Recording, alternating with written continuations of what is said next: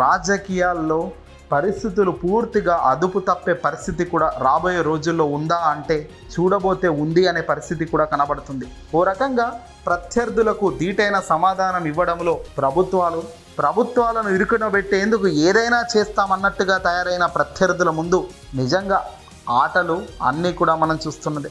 ముఖ్యమంత్రి ఆంధ్రప్రదేశ్ రాష్ట్రానికి వైఎస్ జగన్మోహన్ రెడ్డి గారు రెండవ ముఖ్యమంత్రి.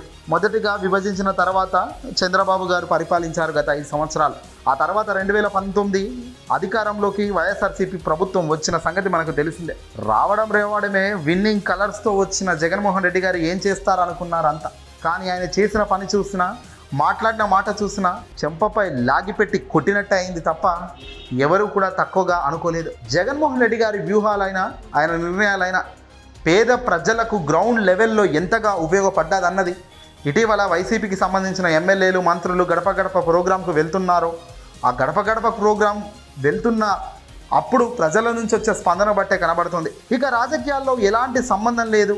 ఎప్పుడో తాత నందమూరి తారక రామారావు గారి మనవడిగా హరికృష్ణ కుమారుడిగా సినిమా రంగంలో ఒక సుపరిచితమైన హీరో పాత్రలు పోషిస్తూ సూపర్ హీరోగా గొప్ప పేరు గొప్ప మానవత్వం చాటుకున్న మనిషి నందమూరి తారక రామారావు జూనియర్ ఎన్టీఆర్ గారు. ఇక జూనియర్ ఎన్టీఆర్కు తెలుగుదేశం పార్టీకి లింక్ ఉంది. మనవడు కాబట్టి ఖచ్చితంగా లింక్ ఉంటుంది. ఈయనను పట్టుకొని నారా చంద్రబాబు నాయుడు గతంలో కూడా రాజకీయంలో కాస్త పైకొచ్చే అడుగులు కూడా వేశారు.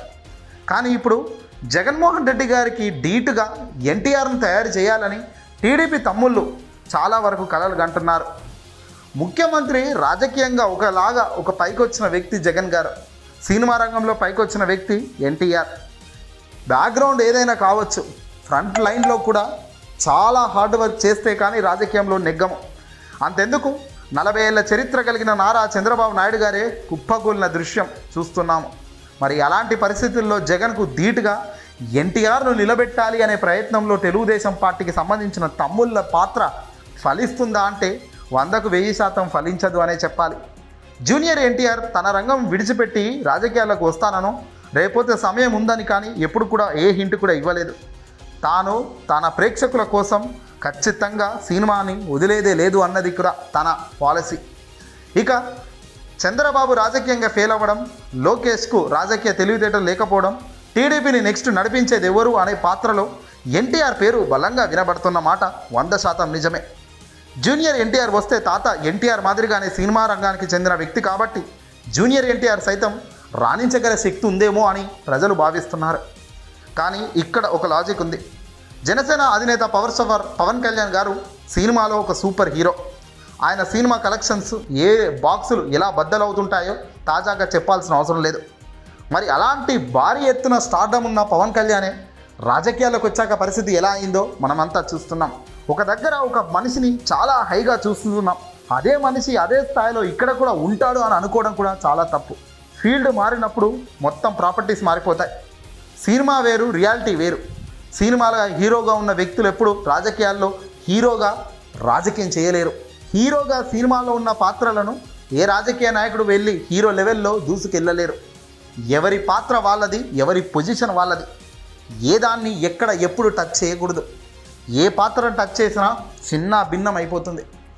ఎన్టీఆర్కు అలా దేవుడు అదృష్టం వరించాడో ఆయన ఆ తగిన నిర్ణయాలు తీసుకోవడమో ఆ సమయం బట్టు ఆయన అంత స్టార్డం సంపాదించారు కానీ అందరికీ కుదరని పని.